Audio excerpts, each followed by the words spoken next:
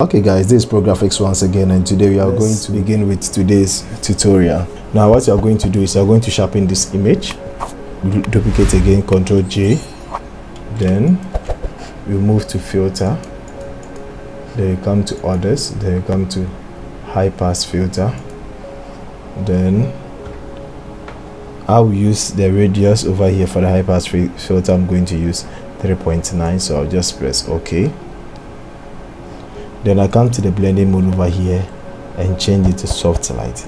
I don't want it to be too visible but I've sharpened this image. You can change it to vivid light or linear light but I don't want that. I want soft light.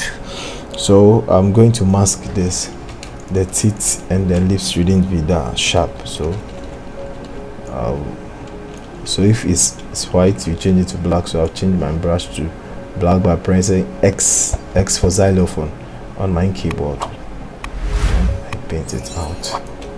So that is before and after